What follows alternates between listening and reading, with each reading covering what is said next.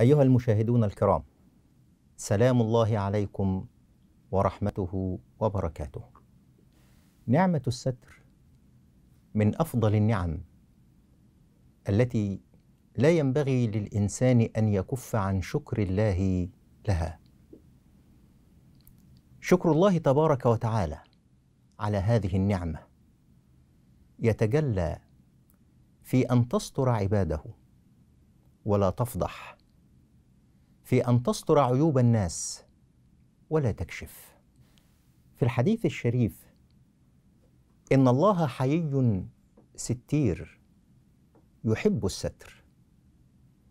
يكفي لنا أن نسمع هذه الجملة من هذا الحديث.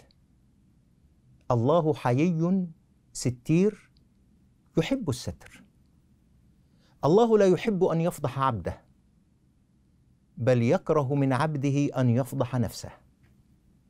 لذلك أمرنا الشرع الحنيف إذا ما ابتلينا بفعل معصية أو مخالفة أو فعل مشين يسيء إلى أخلاقنا وقد ستره الله علينا أن نستره عن أعين الناس. لأن الإنسان إذا ما ستر الذنب عن أعين الناس فهو أجدر وأحرى أن يسارع بالتوبة منه. لذلك في الحديث إن الله سبحانه وتعالى إذا ما فعل العبد ذنبا وقد ستره الله عليه فعله ليلا ولم يره الناس كان مستورا عن أعين الناس فيصبح ويحدث الناس بما فعل. الله سبحانه وتعالى يكره من عبده أن يفعل ذلك.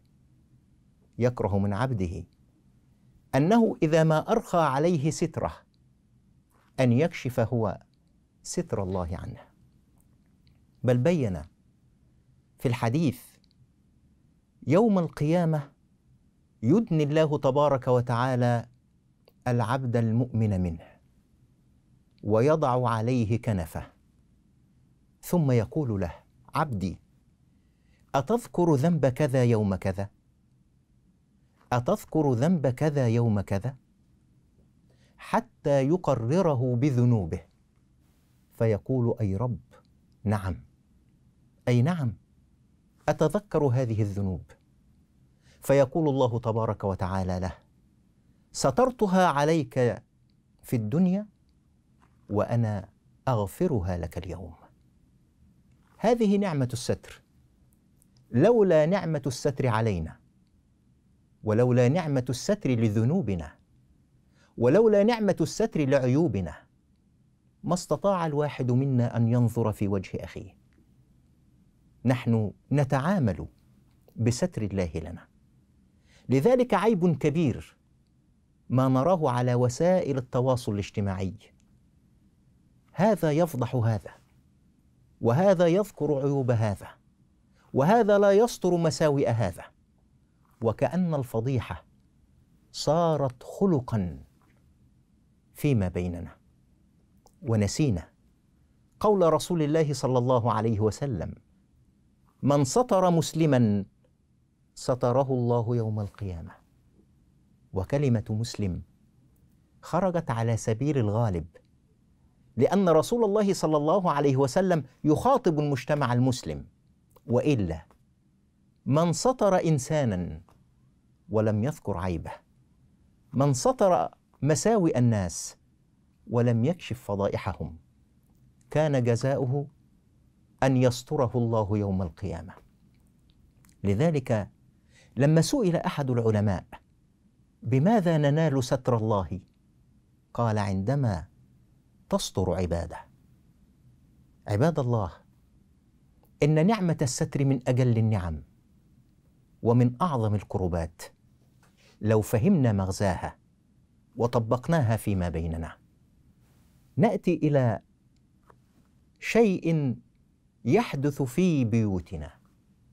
كشف المرأة لعيوب زوجها وكشف الرجل لعيوب زوجته. الزوجان وقد أفضى بعضهم إلى بعض. الزوجان كل منهما غطاء وستر للآخر. لذلك لا ينبغي بحال من الأحوال أن تكشف المرأة عيوب زوجها لأحد ولا أن يكشف الرجل عيوب زوجته لأحد. بين النبي صلى الله عليه وآله وسلم ذلك. عندما قال إن من أشر الناس منزلة يوم القيامة الرجل يفضي إلى امرأته وهي تفضي إليه ثم ينشر سرها. خلق مذموم يقع في بيوتنا يقع في مجتمعنا. حتى ولو اختلف الزوجان كل منهما لا بد أن يستر الآخر. حتى يستره الله يوم القيامة والجزاء من جنس العمل. والسلام عليكم ورحمة الله وبركاته.